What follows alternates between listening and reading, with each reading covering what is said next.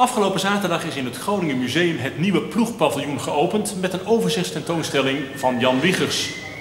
In de tentoonstelling is natuurlijk veel te zien van deze toonaangevende ploegkunstenaar.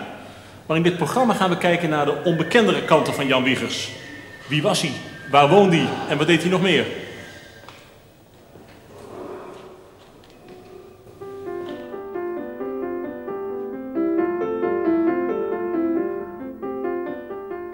Jan Wiegers werd in 1893 geboren in Kommerzeil. Toen hij zes was, verhuisde hij met zijn ouders en twee broers naar de stad. Na de lagere school ging Jan overdag werken in de meubelfabriek van Huizinga. S'avonds volgde hij lessen aan Academie Minerva. Toen hij 19 was, ging Wiegers door Europa reizen. Het uitbreken van de Eerste Wereldoorlog bracht hem terug in Groningen, waar hij in 1917 trouwde.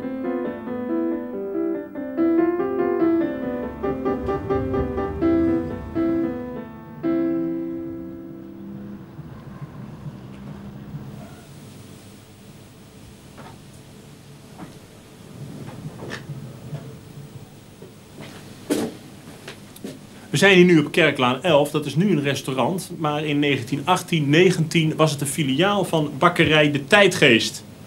En Wiegers, zijn vader, was broodloper voor die bakkerij.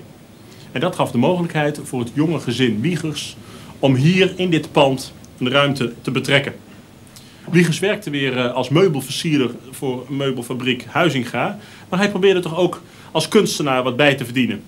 Dus uh, hierachter had hij zijn eigen atelier en bood in de krant aan dat hij modelleerwerk, stukwerk enzovoorts tegen billijke conditie kon leveren. Nou, als het mooi weer was, zat hij ongetwijfeld hier op het binnenplaatsje te modelleren.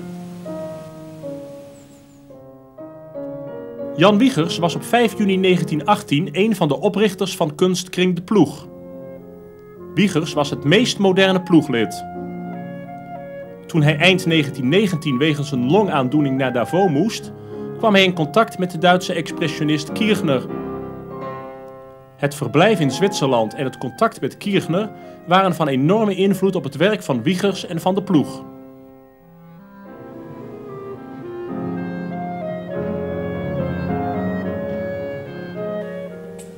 Portret van Johan Dijkstra, een van de minder modernen uit de ploeg.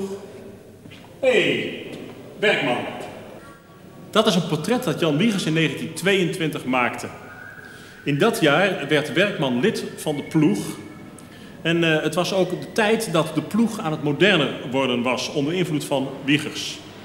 In diezelfde tijd bijvoorbeeld kwam uh, Wiegers, toen er ideeën in de stad waren voor een monument voor Jozef Israëls, kwam hij met het idee om een monument voor Van Gogh op te richten. Nou, dat is allemaal niet doorgegaan, maar het was wel tekenend voor het veranderende klimaat. Vanaf april 1921 woonde Jan Wiegers met vrouw en zoon op Kortingpoort 1a. In 1922 kwam Wiegers in het bestuur van de ploeg. In de volgende jaren maakte hij nog een paar reizen naar Zwitserland. In oktober 1926 verhuisde het gezin Wiegers naar het HW Mesdagplein en twee jaar later naar de Kranenweg.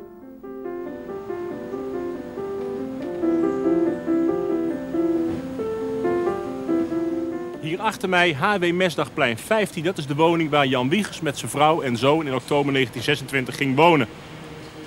Hij verhuisde dus vanuit de hoogte, een arbeidersbuurt, naar deze wat we nu de Schildersbuurt noemen. Een natuurlijk veel toepasselijke plek voor Wiegers. Volgens uh, collega-ploeglid Job Hansen, die net op de hoogte was komen wonen trouwens, klom Wiegers duidelijk op. Nou, de belangrijkste reden voor Wiegers voor de verhuizing was trouwens dat deze huizen veel groter waren. En daarmee kon hij kamers gaan verhuren. Een belangrijke aanvulling op zijn toch karige inkomen.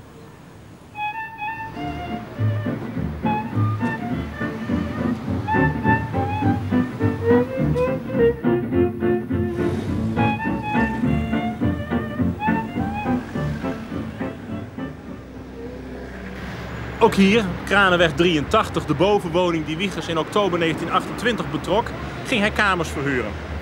Een van de kamerbewoners was Schoenveld Wiggers, die we beter kennen als de schrijver Belcampo. Een andere kamerbewoner was een mannelijk familielid. En toen Wiggers dus in de kamer en suite met een naakt model bezig was, boorde dat familielid die er vlak boven woonde een gaatje in de vloer om het ook te kunnen zien.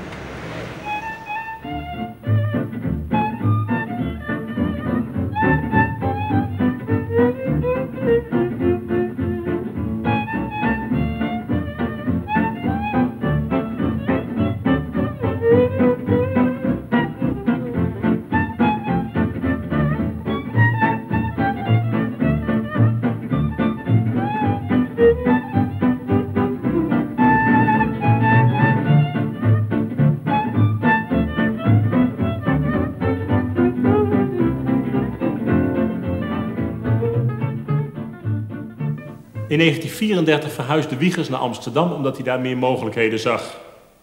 Nou, en in die tijd maakte hij dit zelfportret. Nou, hij kijkt er een beetje gekweld op, misschien toch onzeker over hoe het in Amsterdam zou gaan. Nou, jaren ging het ook niet zo voor de wind. Pas uh, aan het eind van zijn leven, in de jaren 50, ging het beter met hem. In 1959 overleed hij en een jaar later was het de tot nu toe enige grote overzichtstentoonstelling van zijn werk in het Stedelijk Museum. Nu is dat dus anders in het Groningen Museum en uh, zoals hier in de galerie van Kees Hofstegen aan het Zuiderdiep een tentoonstelling van Wiegers.